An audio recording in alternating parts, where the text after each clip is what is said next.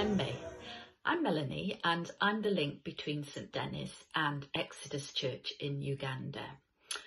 Um, a group of us visited Uganda in February this year and we were very grateful for the amazing support we had from everyone in St Denys and we were really keen to tell you all about it when we got back. But unfortunately, the Sunday we were going to feed back to you was the very first Sunday of lockdown. So um, here we are. Um, okay, so where is Mbale? So the journey from Cardiff to Kampala, the capital of Uganda, takes about 22 hours and then it's another seven hour bus ride on to Mbale. Uh, Mbale is the fourth biggest city in Uganda, up near the Kenyan border, and very little of the infrastructure has changed since Uganda gained independence in 1962. So I'd like to start by explaining our link with Exodus. So Chris had visited um, Uganda a couple of times with PONT, a charity set up by Dr. Jeff Lloyd. And PONT works by linking volunteers with direct community links with the aim of reducing the impact of poverty on the lives of those in Mbale. So when Chris came to St Denys, he was um, keen for us to have an anxious, uh, he was keen for us to have a meaningful relationship um, with an overseas link and he suggested that we um, work with Exodus Church. So quite a few of us have had an opportunity of visiting Exodus. Um, there's been three trips altogether in 2017, 2019 and then in February this year. And each time we've stayed in Salem Village. From the very first moment we all walked into Exodus, we just felt an immediate bond with the people who were part of the church there. Um, we got over the years we've got to see a good many of the projects that Pont and Exodus support, and it's fair to say we've been blown away by the sense of community that they have there, the way they look after each other and share what little they have. They may be financially poor, yet their lives are rich. So St Denys supported Andrew financially and prayerfully through his theological training. And since most ordained clergy in Uganda have to have another source of income, we have continued to do this today.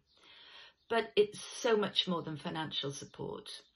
I know how much they value the fact that we here in Cardiff pray for Andrew, Alice, his wife, his two boys, Paul and David, and for everyone in the congregation at Exodus every Sunday.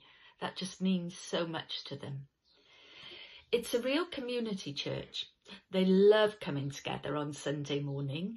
Uh, worship lasts at least three hours and um, many will have walked a few kilometres to get there, um, often barefoot including um, an elderly blind man who's led on a piece of bamboo by a, a young teenage boy. Um, their faith is strong and worship is exuberant, uh, with lots of dancing around and the ladies ululating. They love to share testimony. And as we've shared our stories of loss, bereavement, life-threatening illness, and our desires for our families to know Jesus. They know too that we experience testing times and that we are reliant on him. So what's the structure of the church like? Well, it's a simple building, but um, the actual body of the church, the people, um, comprises of about um, 300 children who come along to Sunday school. They've got no facilities whatsoever. They just, they've got a couple of benches and the rest sit on the floor out in the open sunshine. And um, they will hear a story and sing. And they love to sing. Um, there are three choirs at Exodus Church. Um, and yeah, their singing is just amazing. Um, so each week then Andrew and his team go out into the community and they visit people in the more outlying visit in villages. Andrew's got a bike um, and I think maybe they use a boda boda, which is what they call the, the scooters and motorbikes. Um, so he shares um, the word with them and prays with them. But they also undertake practical help, which you'll hear more about of. Uh, they get about 50 people to Bible studies on a Friday and lots of children to Bible club on a Saturday. Uh, so in total there's about 200 adults, 100 young people and then the children. So I think you're going to see a video of worship at Exodus and then a recent video of Andrew and his family and their neighbours um, sharing worship together in Andrew's home.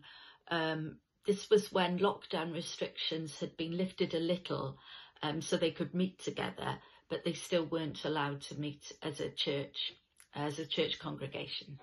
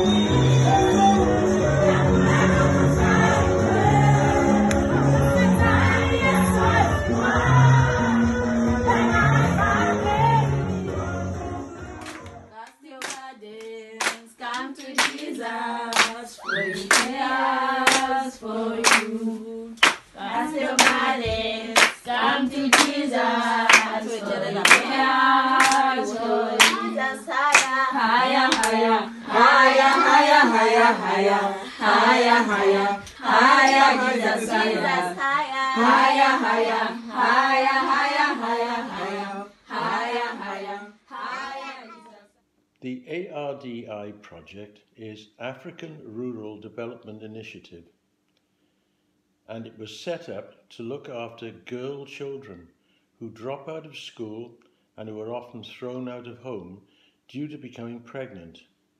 Joseph Weusu and his team set out to give them a second chance with vocational training and education, and in 20 years they've helped more than 1,400 young mothers. They're rightly very proud that many have achieved well and have succeeded in becoming doctors, nurses, teachers, as well as having vocational skills. They set up a nursery school for the children, and now after 20 years, they have year groups right through the nursery and primary levels, with a standard of education in advance of the state system. It was my wish to see it again, as it had a profound effect on me the first time and though it was a bit of a shock for some of our group, we saw much more moving situations later. Some of, some of the children are orphans and there are dormitories on site for boys and for girls. They're also running environmental projects and have nurseries for tree growing and with support from the Wales Government they've been very active in tree planting and honey production and we were all delighted to each plant a tree that afternoon. You'll see from the pictures how beautiful and smiley all the children are. Remember, they are either orphans or children of, of some very young mothers. But wherever we went, we were all so taken with them. You can see that this was day one for the parachutes and beach balls with the monies donated by our congregation and you can't ever imagine the joy and happiness it brought to these underprivileged kids. This worthy project, like many others in Uganda, depends entirely on donations, and they've built up links over the years, and there are groups and individuals who sponsor the children's school costs as well as helping with running costs. But as ever, there is never enough and we must thank God for his support of the likes of Joseph and his team.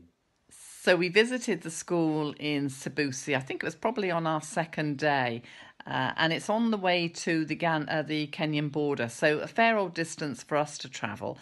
Uh, it was an interesting road because it's it's going to be a huge road when it's completed, but it's just being developed now, and so we had to dodge diggers and huge mounds and craters just to get to the school. But when we did, um, the welcome we had was quite awesome.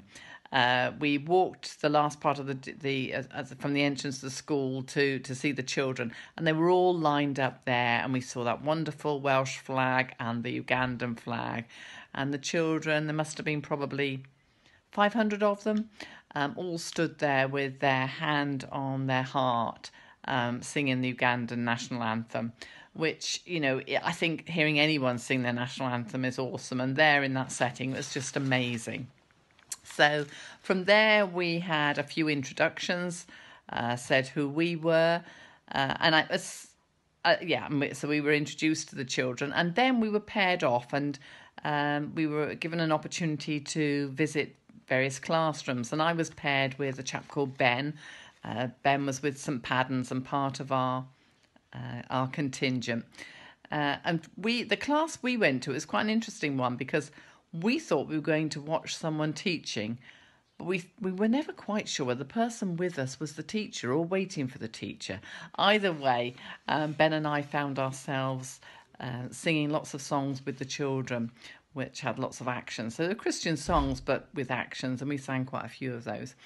Uh, and when we thought we'd, we'd sort of exhausted our repertory, uh, repertoire rather, um, Ben then recited or spoke, told the story of We're Going on a Bear Hunt. And I have to say, he has so much, uh, he evoked such a, a wonderful uh, feeling of squelch and mud and everything that it clearly translated. Whether they understood the language or not didn't really matter. They were giggling away just watching Ben. So that was that was really rather lovely.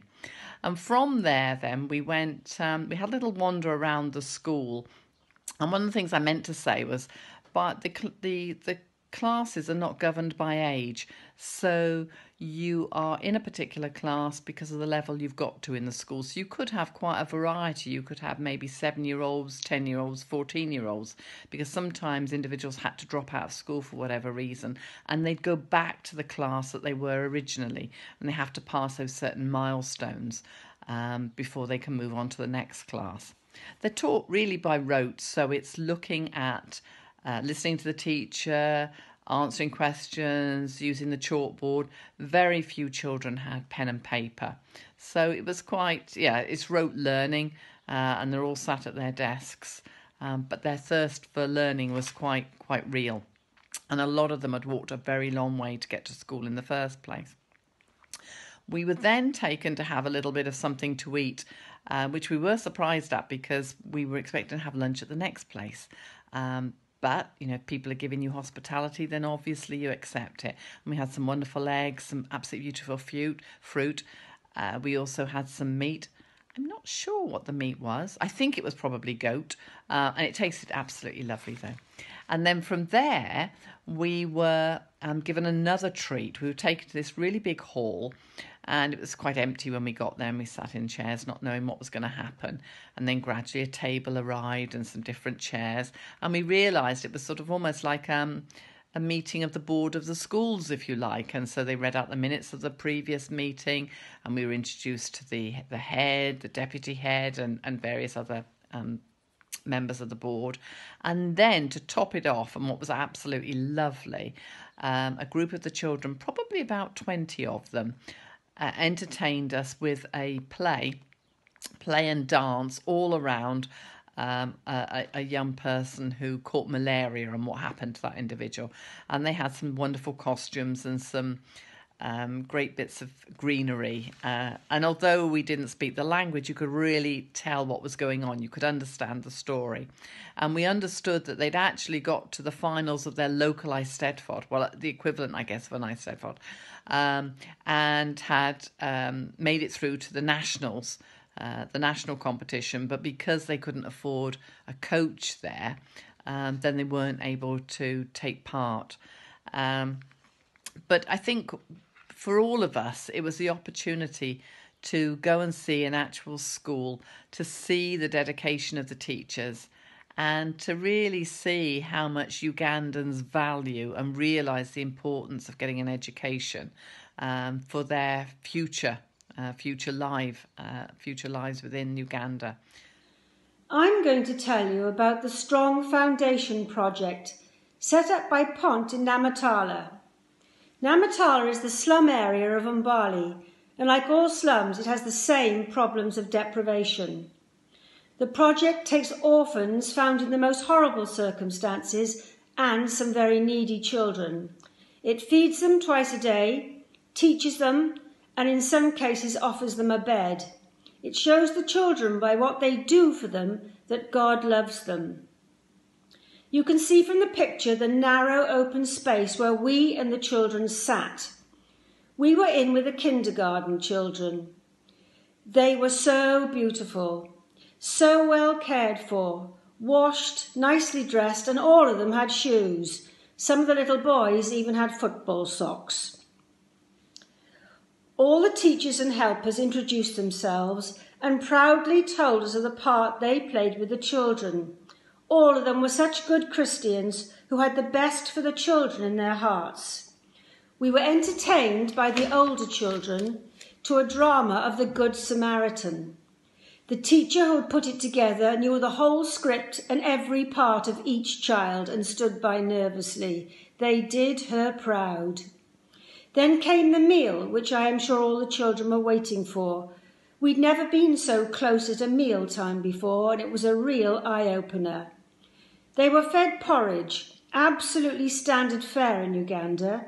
It was served in green plastic mugs, which you can see in the picture, with the big ones helping the little ones, and the mugs going back to the kitchen for refills as they didn't have enough mugs to go round. They were not washed and out they came again. I look back on it and hope that coronavirus never gets into that place.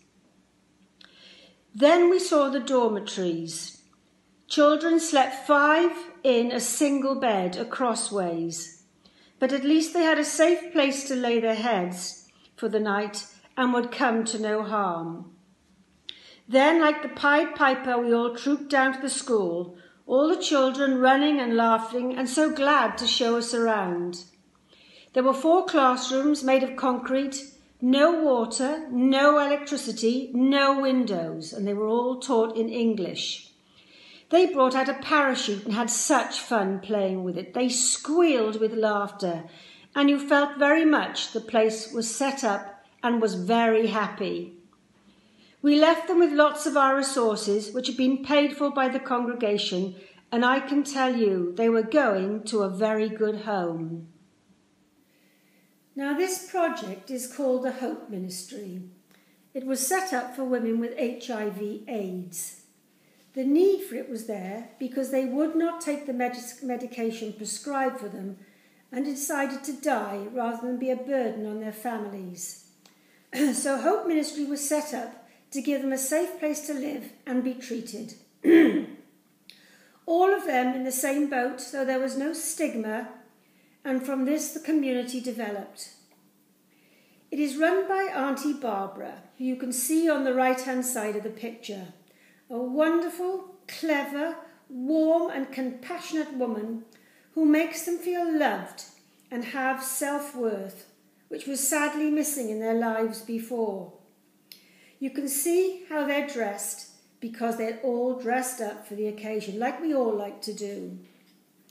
They work making jewellery and handbags, brushes, etc., which they sell along with the garden produce they grow for themselves, and the surplus is for sale. But now their latest project is honey. When we were there last time, it was just getting started. The hives were being constructed. This time we bought the honey. Excellent progress. No little children there this time, they were all at school. Lots of the women were quite shy, others quite gregarious. They sang for us and laughed together. I must say it was a pleasure to go and see them. It's a very successful project, and if ever there was an apt name, the Hope Ministry is it. The Christian ethic which runs through the whole project is very uplifting. God's work in action. Hello, everyone. Thought I should start by introducing myself. I'm Liz Fairclough, and I'm good friends with Amanda and it's through Amanda that I became involved in our trip to Uganda. When the opportunity arose, I asked Chris, who I'd previously met, who said I'd be more than welcome. Uganda had always been a country close to my heart, as my uncle had served there as a missionary priest for many, many years.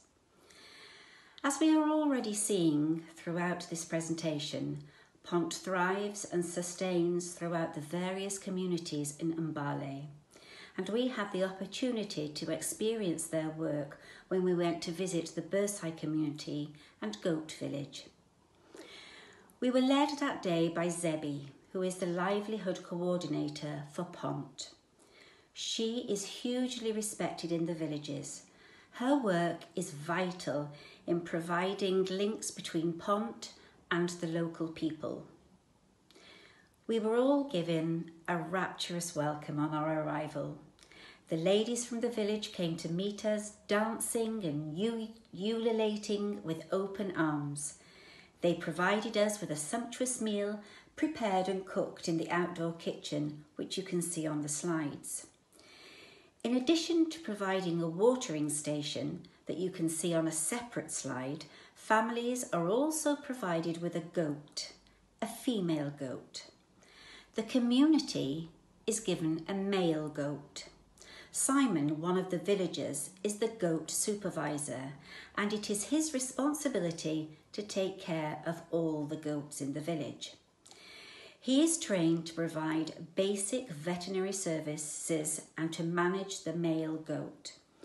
The goats then breed and the first kid produced is passed on to other members of the village, making the project self sustainable. After this, the family can sell any future kids, providing income which gives education, uniform for the children, nutrition, and shelter for the family. Also, the goats produce manure for the crops, which means more vegetables to eat and more coffee to sell. Doreen is the goat supervisor's wife.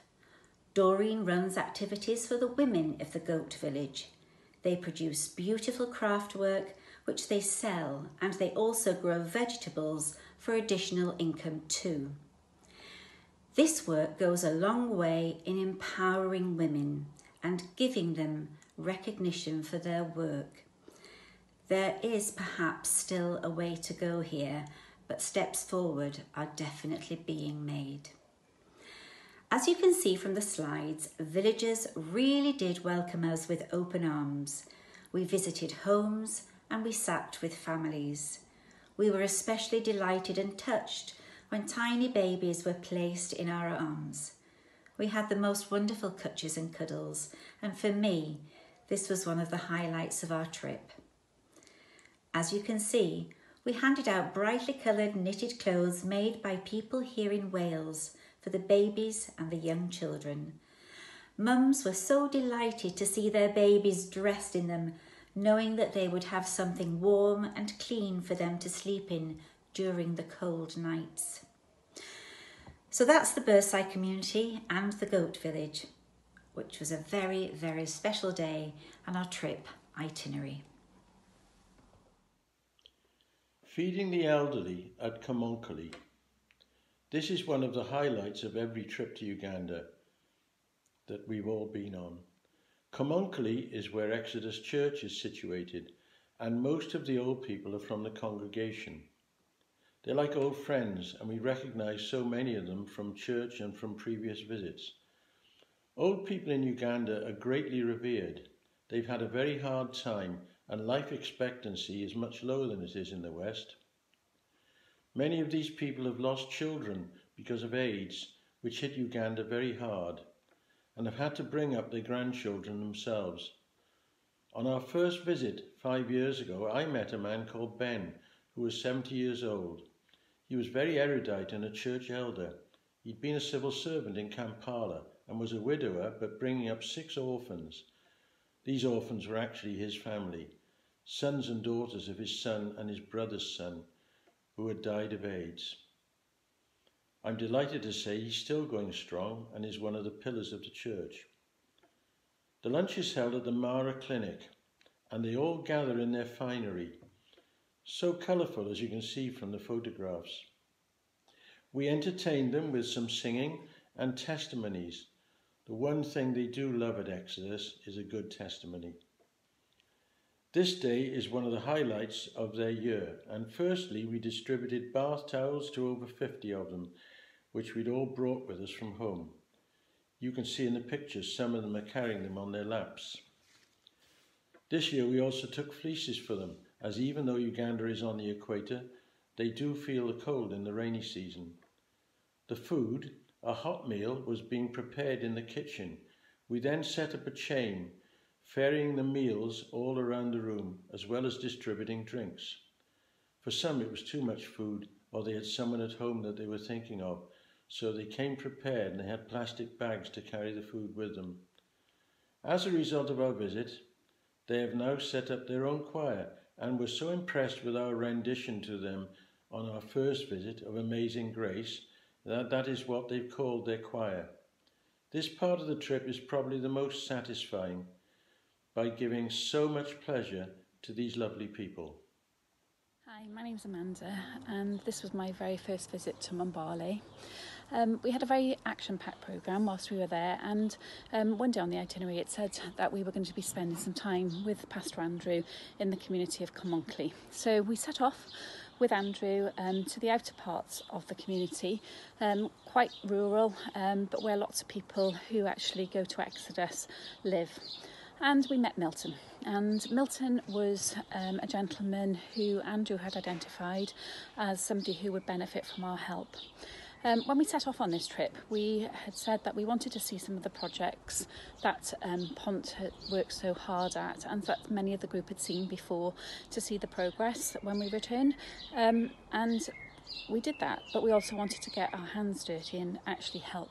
Um, so um, Milton is a gentleman in his 60s who had been paralysed from the waist down and has basically been abandoned by his family.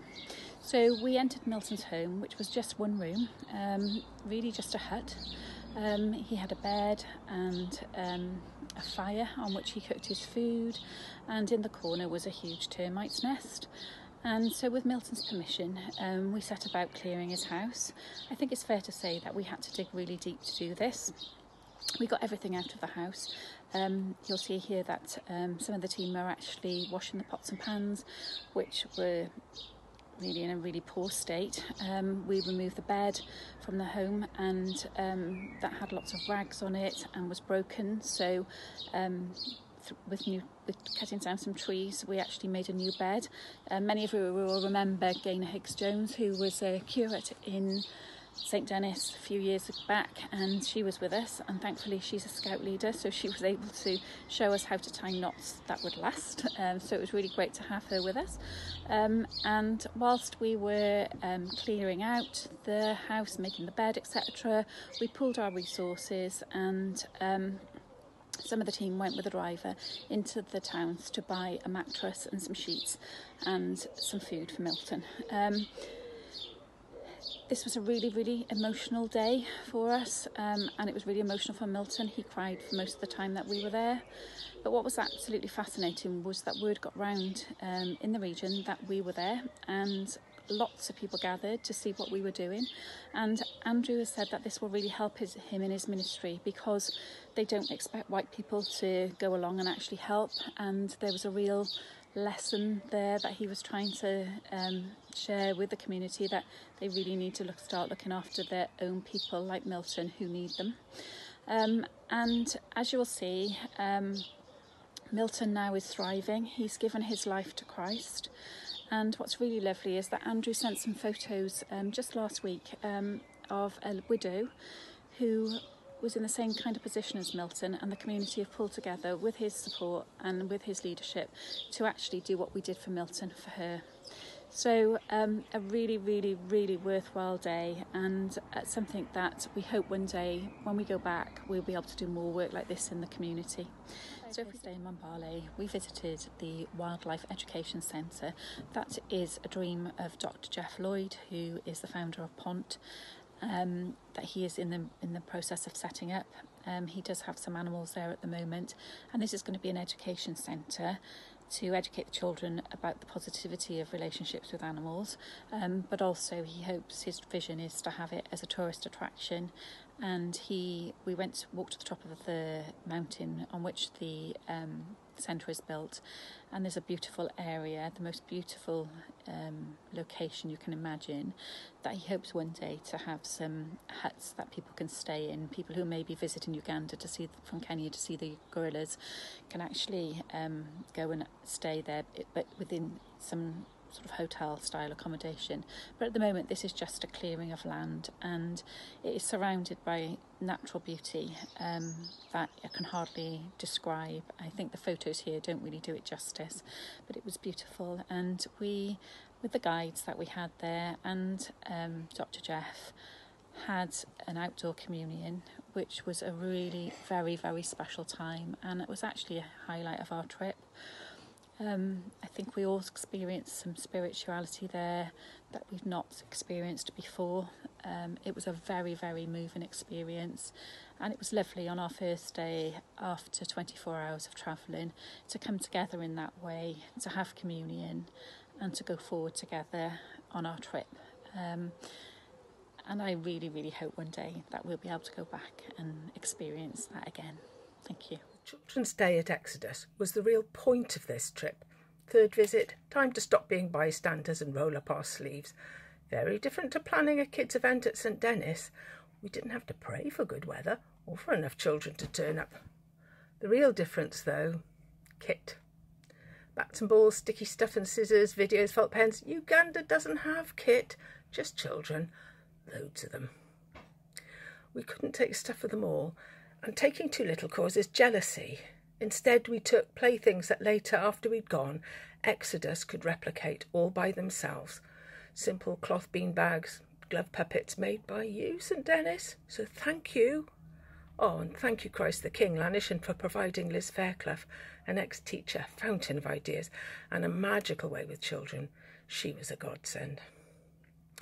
So, the day itself. Well, we started by throwing bean bags to the children as they arrived. They'd never played catch before, no idea, but boy did they cotton on fast. More children arrived, more beanbags were thrown, and more, and more. Look, there's no photo of what happened next. You're going to have to close your eyes and imagine a blue, blue sky, a patch of grass, hordes of children, and the air filled with joyous cries, cries and 100 calico beanbags flying in all directions.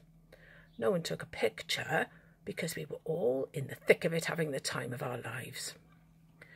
Inside the church, children still arriving, we sang songs, action songs, and then stories. Two big Bible stories with visual aids for about 400 kids who'd never seen an illustrated book, or posters, or Bible animations, or lions or zebra or giraffes, even though they share a country with them. No worries, we had props galore. And the children not one single bit of bad behaviour out of any of them all day. Those children know how to listen. They know how to concentrate. They know how to assimilate a story into their bones.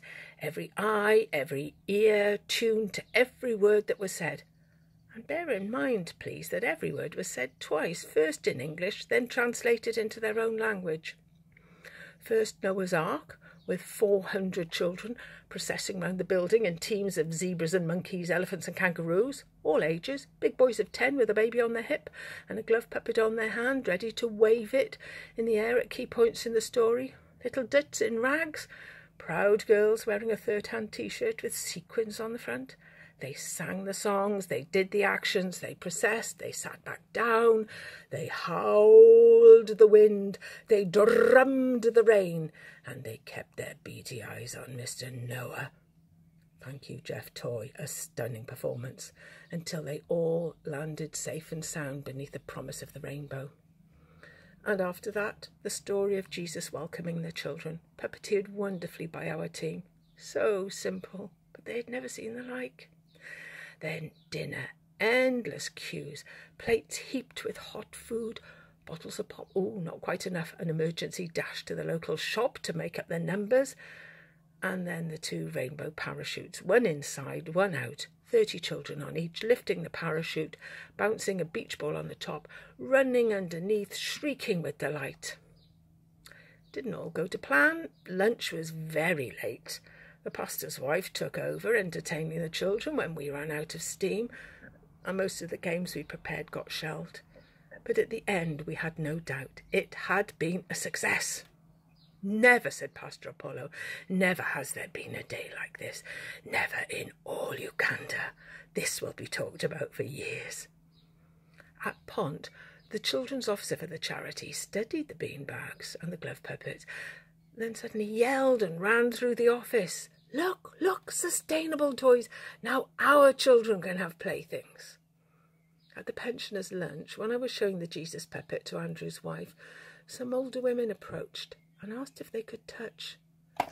We have seen pictures of Jesus, they said, but never with skin and hair like us. And their chins wobbled and tears stood in their eyes. Then, after we'd gone home, Janet, Apollo's wife, started reaching out to the street children of Mbale because of the story, she said, Jesus and the children. It made her think. I wish they could come three times to visit us. I wish they could spend two visits just watching us, observing, and then the third visit they could spend one day giving to us what they can see we lack. So, what of the future for Exodus Church in Kamonkoli?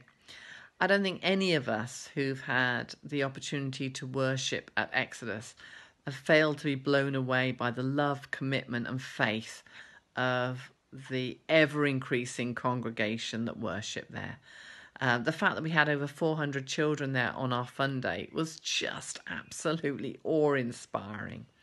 Um, and it's because of the generosity of members of St. Denys Church that the church in Kamonkoli has been able to purchase its own land with the intention in the future of building a permanent church structure. At the moment, they rent a church on rented land, so have to clearly pay for that. Um, and there's always the chance that they could be evicted from that land. So their future is assured in terms of having the land there, and then as and when funds become available, they will build um, a permanent structure. They've got toilets already. Well, they started building the toilet blocks, but that's that's that's as far as it's got. Uh, and I just so, and what I would say though is that what's so amazing is the faith and commitment of the the church family there, and it's just so absolutely awe-inspiring. And I'd like you to join me in a short prayer, please, for Exodus Church.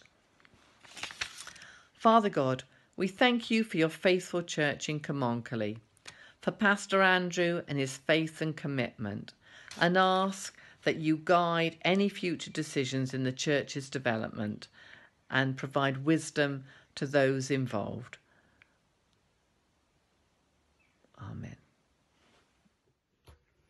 I hope this has brought back uh, lots of good memories to those who visited um, Mbale before and given everyone else an insight into, um, into Exodus Church.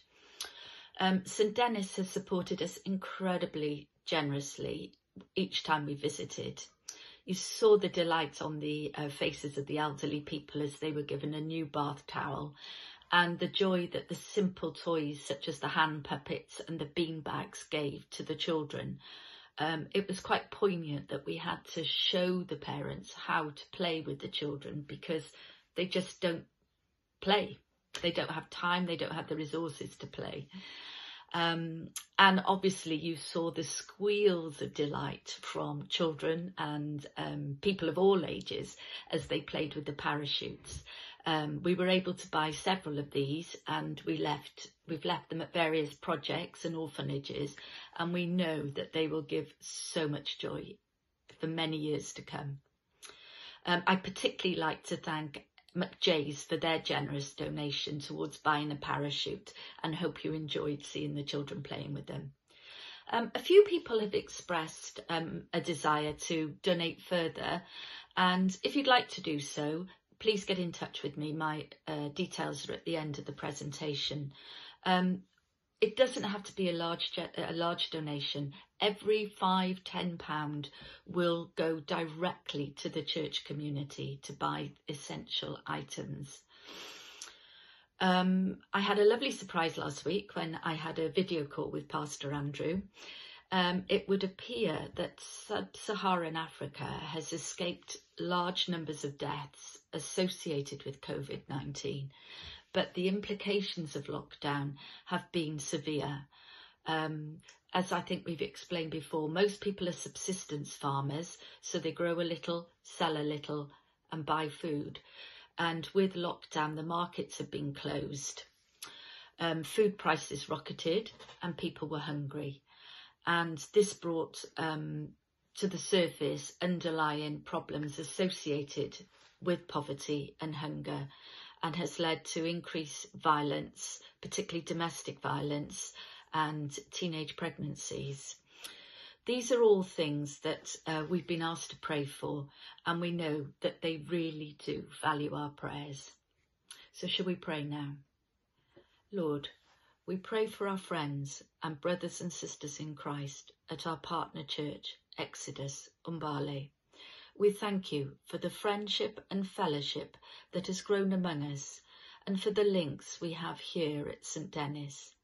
We ask you to be very close to them in these uncertain times. Protect them, we pray, and provide for all their needs. Encourage them and bring comfort and peace to them as they take refuge and shelter in you. Amen.